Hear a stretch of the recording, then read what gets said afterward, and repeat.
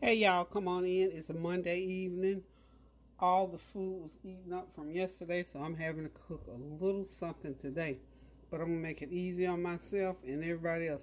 We're gonna have some nice soup because I had so many leftovers.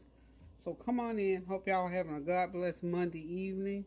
Uh, for those who had to stay home because of this coronavirus or you had to stay home with the children or whatever, hope you had a God bless day and use that time uh, for family time or to catch up on some things that you might have needed to do all along.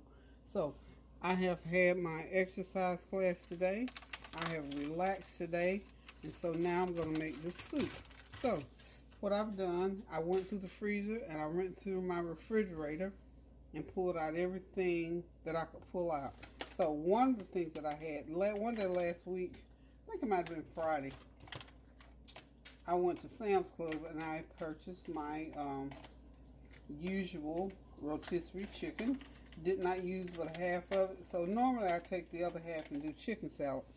But I did not and I'm glad I didn't because what I did, I chopped it up and I'm going to put it in my soup pot. What I did with the carcass from it though, uh, I took the bones and put about four cups of water in there and put um, and, and, just boiled it. Just boiled it to get that broth. So I got me uh, uh, three or four cups of broth. Now this is the chopped up chicken. I'm just gonna go ahead and put it in my soup pot. And I also, guess what else I put in there? Remember week before last I made those good old um, healthy um, turkey burgers with the mushrooms in it. So I just took one of those, chopped it up, and put it in there because I'm, you know, I'm going for the flavor, y'all, because we're not doing a lot of salt these days. Oops.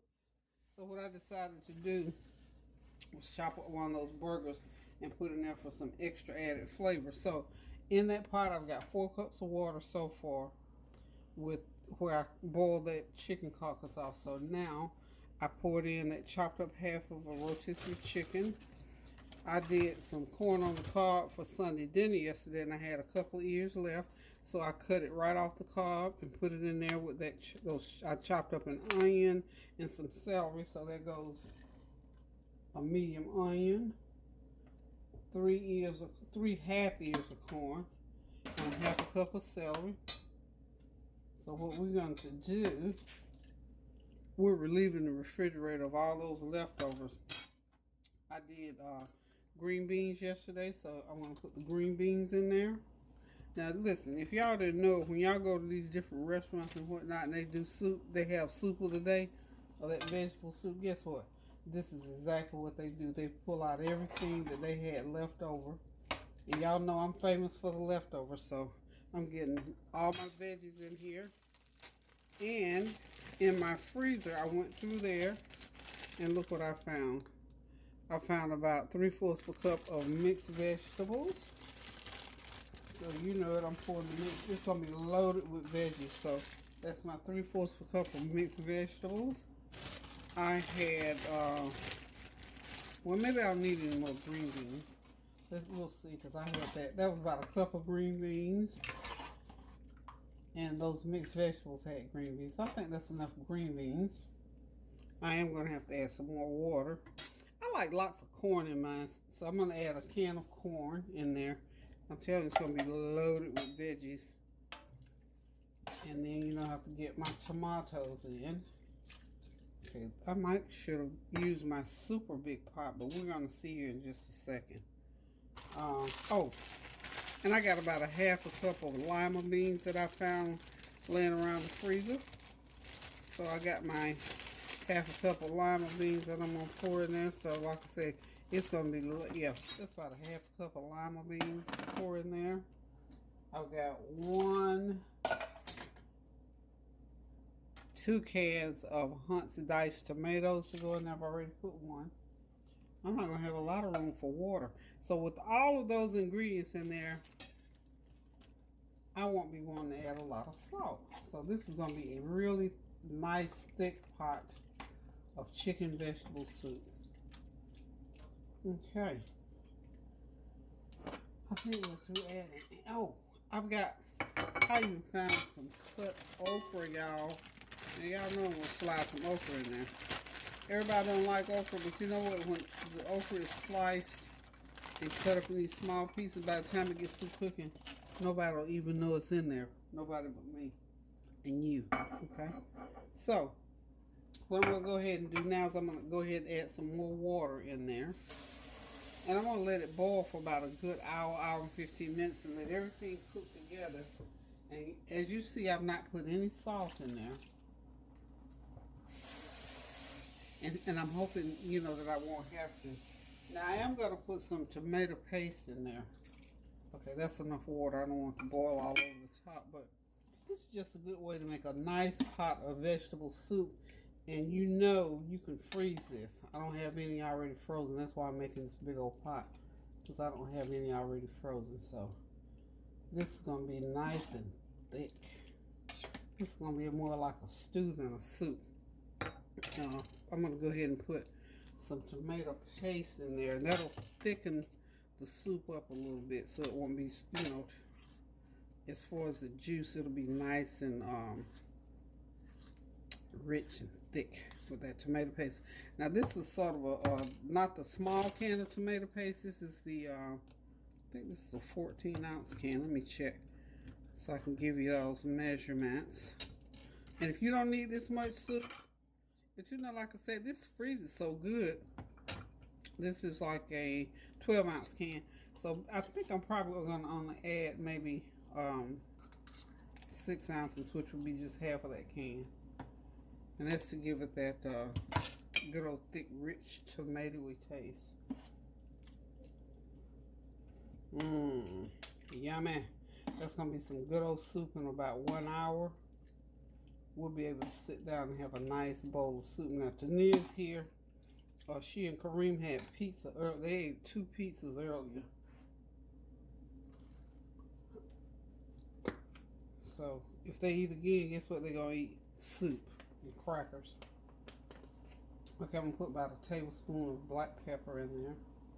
We gotta have that black pepper in that soup. And I've got some onion powder.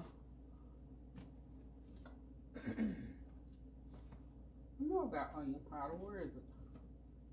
Onion powder. Well, I'll tell you what I do have. What I know I can. Oh, there it is right there. I'm going to go ahead and put a good teaspoon of um, couple teaspoons of onion powder in there to flavor it up real good. So we got our soup going. So um, like I said, about an hour and a half, we're gonna have a good old pot of soup. And as you see, it only takes a few minutes to get all your ingredients together. Uh, if you didn't have half of a um, rotisserie chicken to use as your base, you know, for your to season it, your meat seasoning there, if you got any chicken parts or pieces in the refrigerator, legs, thighs, whatever you got, go ahead and boil them up to get your broth and um, get your soup going. And it only takes, it takes a good 20, 25 minutes to get all these ingredients together and get them in a pot. So from freezer, refrigerator to the stove on the table, probably a good hour and a half for the best pot of soup that you're probably going to have all year. So hang on for me a little bit and I'm going to go and uh, do a cleanup and come back to you in a little while and let y'all look at this good old thick, rich, tomatoey chicken and vegetable soup. So hold on just a sec. I'll be right back. Okay, it's soup, y'all. I got my bowl, getting ready to sit back, relax, and enjoy this good old hot bowl of chicken and ground turkey vegetable soup. There's the big old pot there, boy. We'll be eating soup for days, y'all. So thank y'all for hanging around while the soup gets ready. Get your bowl out. You're welcome to a good old hot bowl of soup. Listen, y'all, keep those prayers going up so the blessings will continue to come down. Continue to pray without ceasing. Love on one another. Get in that kitchen and cook you something good to eat. A good old hot bowl of soup, a good old hot bowl of chili Either one will work. It's kind of warm, cool outside today. I was going to say warm. It's kind of cool outside today. I'm having crackers today.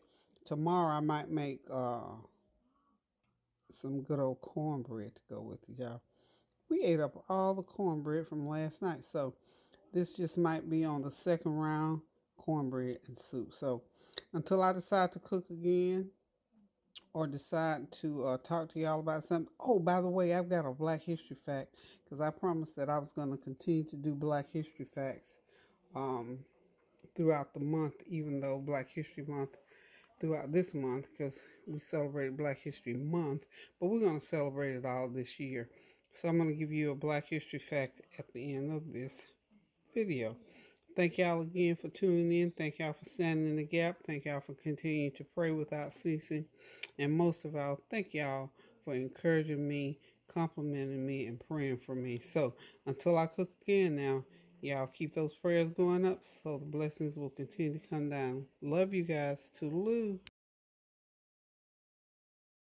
Okay, as you can see, there's a beautiful picture depicting uh, what went on during black migrations in the 1920s. This was actually the National Black History Month theme for 2019, but I thought I'd share it with you anyway because it has some significant um, facts and little things that you can kind of grab a hold of so you can kind of uh, think about what it looked like back then.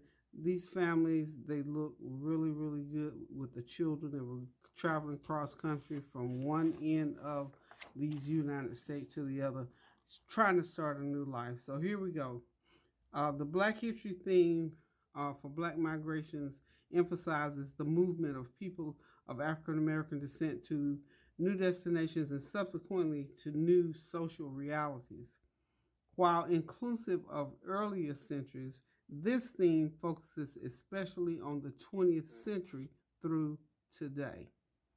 Beginning in the early decades of the 20th century, African American migration patterns included locations uh, from southern farms to southern cities, from the south to the northeast, the Midwest, and to the west, from the Caribbean to U.S. cities, as well as to migrant labor farms and the immigration of noted African Americans to Africa and to Europe and cities such as Paris and London. After the end of World War I and World War II, um, such migrations resulted in a more diverse and stratified interracial and intraracial urban population amid a changing social, social um, milieu, such as the rise of the Garvey movement in New York, Detroit, and New Orleans. The emergence of both black industrial workers and black entrepreneurs, the growing number and variety of urban churches, new religions, new music forms like ragtime, blues, and jazz, with uh, white backlash as in the Red Summer of 1919, the blossoming of visual and literary arts as in New York, Washington, D.C., Chicago, and Paris in the 1910s and 20s. The theme Black migration equally lends itself to the exploration of the centuries later, uh, the centuries later decades, from uh, spatial and social perspectives, with attention to new African Americans because of the waning African and Caribbean population in the U.S., North American North, uh, Northern African Americans returned to the South. Racial suburbanization, suburbanization, inner city and hyperghettoization, health and environment, civil rights and protest activism, electoral politics, mass incarceration, and dynamic cultural productions. So this is just some of the things that have gone on by title in the United States from the 1920s even until now. Hopefully you will be able to uh, gain some insight as to what was going on back during that time frame. Now, all this information was gathered by an organization called asalh.org.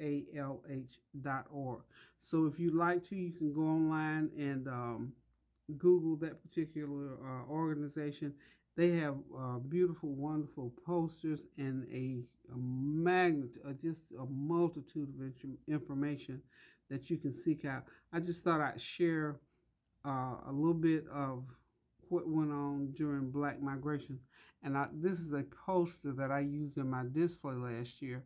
and I thought I uh, would like to share it with you because those of you who like to dig into Black History facts, I thought this would be just something that you would enjoy. But go ahead and um, go online. It's asalh.org. Of course, you got to do www.asalh.org